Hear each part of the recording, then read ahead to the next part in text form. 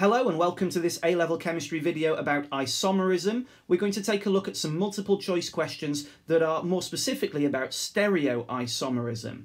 Download the questions from the description, have a go at them and watch this video and see how you got on. Which alkene shows EZ isomerism? Well, EZ isomerism comes about in alkenes because of restricted rotation about that double bond, and then if both of those carbon atoms that have the double bond have two different groups each, then there will be EZ isomerism. And so what we need to do is we need to look through each of these four options and see if that's the case. And so if we start with but2-ene, we draw the carbon skeleton, chain of four for but. The 2 means we've got the double bond on the second carbon atom. 2,3-dimethyl means there's going to be a methyl group here and one here, and then we fill in the rest for hydrogen. Now, if we look at the carbon atoms that have the double bond, the one on the left has got two methyl groups sticking out of it, and so has the one on the right. So this will not show EZ isomerism. Moving on, pent2-ene. Pent is a chain of five, a double bond on position number two, and then we've got a methyl group on position number four, which is over here on the right-hand side and then we put hydrogens in for the rest, and we can see that the carbon in the double bond has got a methyl group sticking out of it and a hydrogen, so those are two different things, and then the other carbon with the double bond has got a hydrogen sticking out of it and quite a complicated chain of three happening. So this will have EZ isomerism because there are two groups with two different priorities on both of those double bond carbons. Just to double check, methyl propene Propene's a chain of four, the double bond can go in either position, and the methyl group has to go in the middle, otherwise it would be butene rather than propene.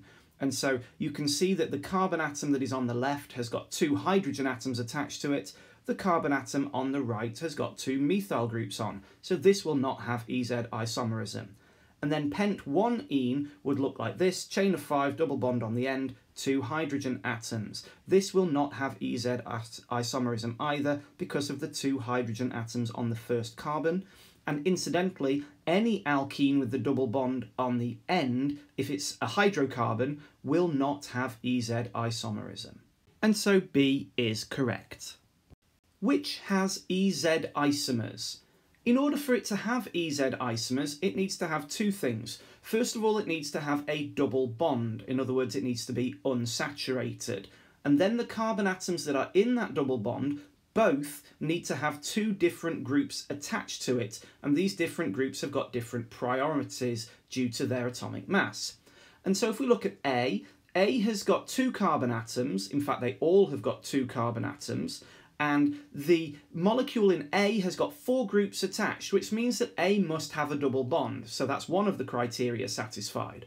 And it's got two hydrogen atoms and two bromine atoms. Now it could be that it doesn't always have EZ isomerism, but we could have one hydrogen and one bromine on each of those carbon atoms in the double bond, and so that will have EZ isomerism.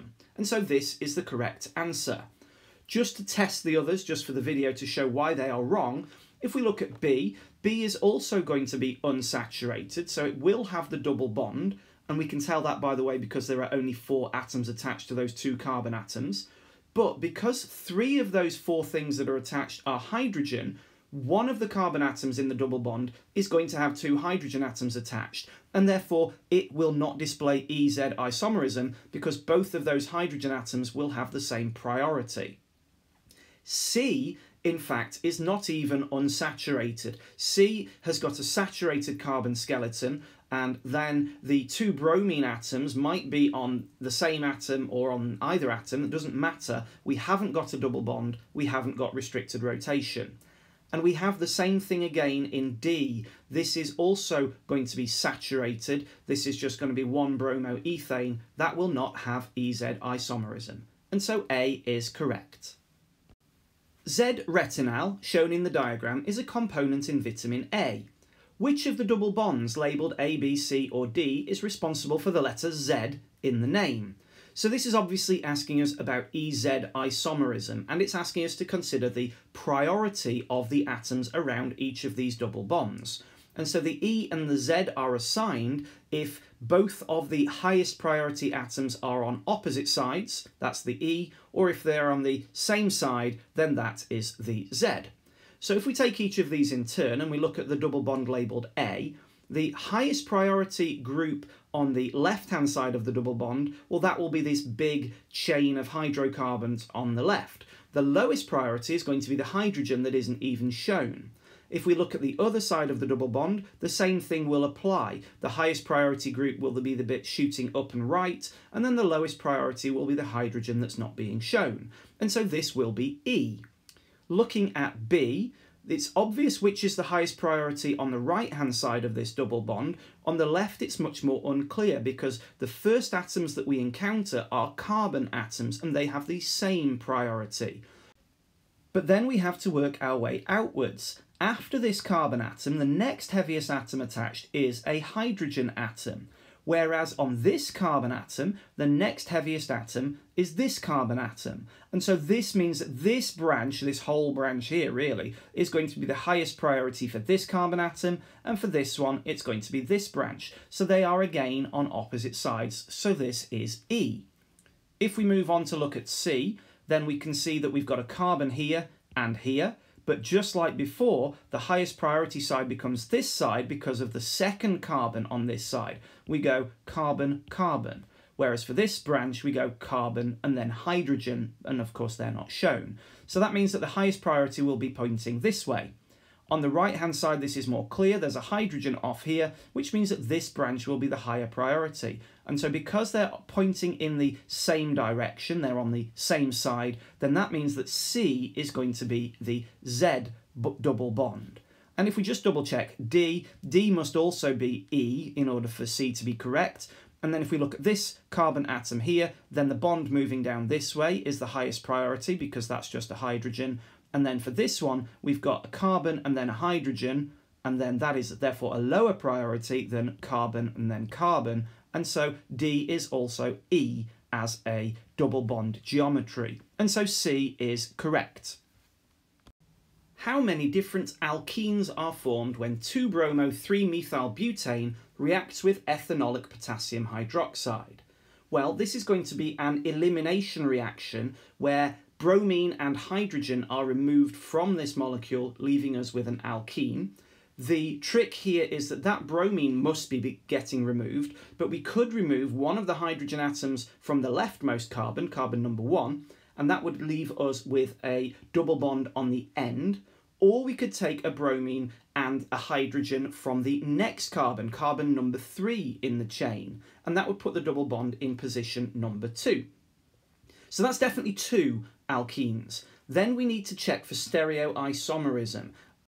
If we look at the double bond in the first molecule in position number one, we can see that we've got two hydrogens on that atom. So therefore this will not have EZ isomerism, and any double bond that is on the end of a chain will not display EZ isomerism. And then if we take a look at the second one, the carbon on the left of this double bond has got a methyl group sticking out of it and a hydrogen sticking out of it. So that means that this has got potential.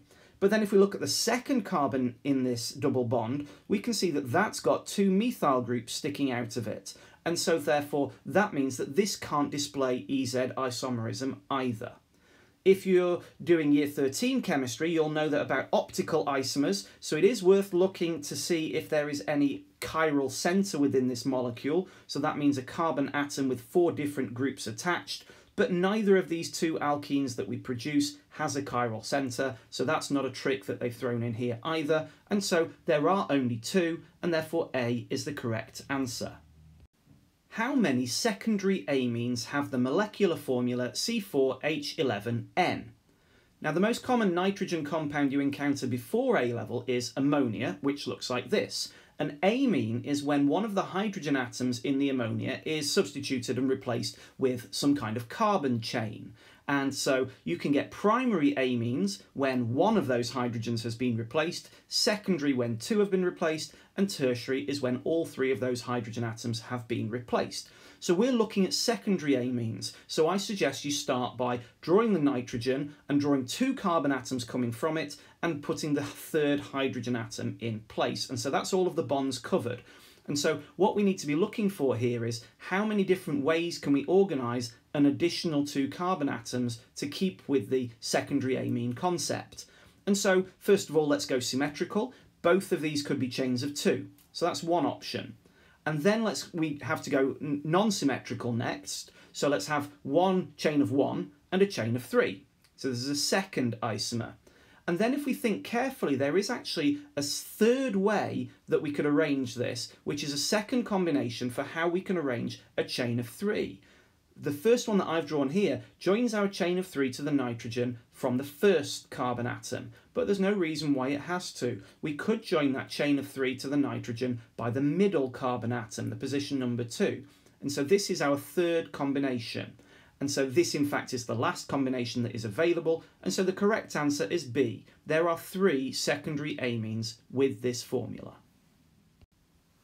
Okay, that's the last question. That's the end of this video. I hope it was useful. I'll see you again soon.